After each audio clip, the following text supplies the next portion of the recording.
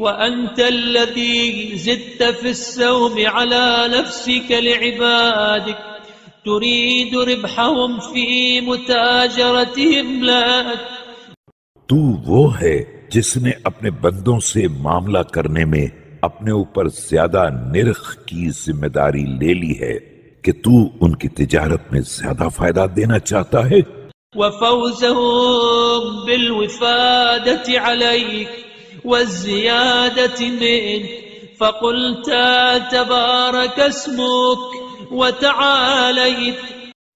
और उन्हें अपनी बारगाह में हाजिरी की कामयाबी और इजाफे की सादत देना चाहता है तूने खुद ही ऐलान किया है और तेरा नाम बाबरकत और बुलंद तो बरतर है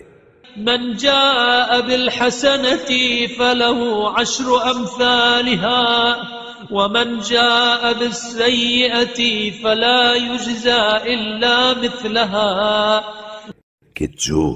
एक नेकी अंजाम देगा उसे दस गुना अजर दिया जाएगा और अगर बुराई करेगा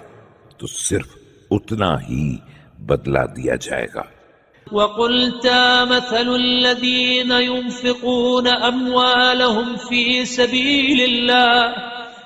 कमसली हब्बतिन अम्बतत सबअ सनाबिल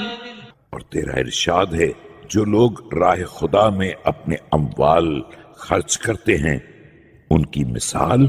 उस दाने की है जिससे सात बालियाँ पैदा हों फ़ी कुल सुम्बुलत